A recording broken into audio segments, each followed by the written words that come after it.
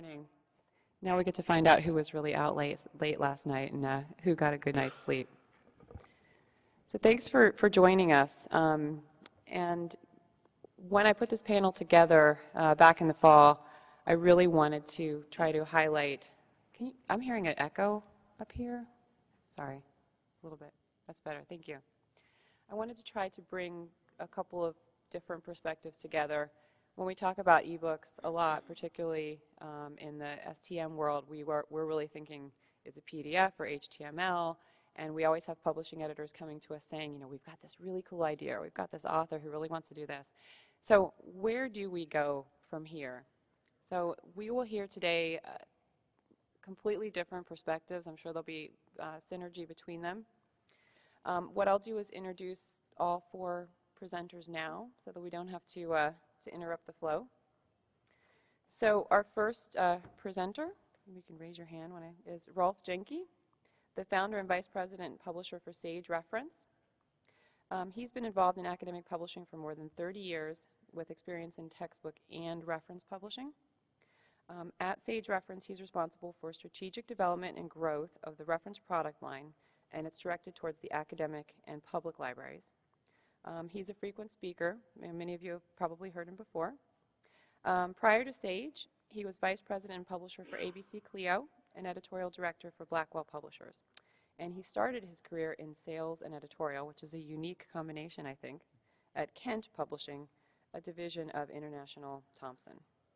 He'll be our first speaker. Then we will move um, to Alex von Rosenberg. Alex?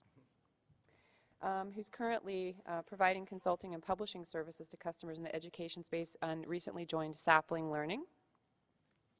Um, prior to that, he was Executive Director of Sales and Marketing at Ap Aplia.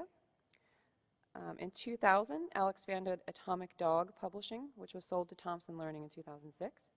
Um, he and his company were recognized for their significant entrepreneurial accomplishments um, by many sources, including the state of Ohio, EduVentures, and Ernst & Young as Entrepreneur of the Year finalist.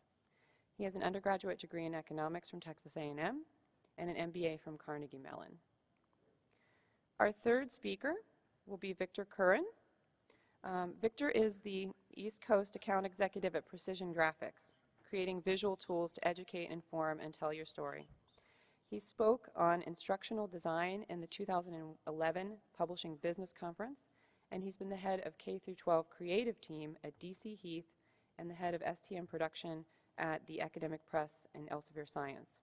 He taught a book design course at Northeastern University, and he's a board member and past president of the Book Builders of Boston. Thank you. And our fourth speaker, uh, Laura Fleming, last but certainly uh, not least in this program, um, has served the children of New Jersey as an educator for the past 14 years, as a media specialist and a librarian.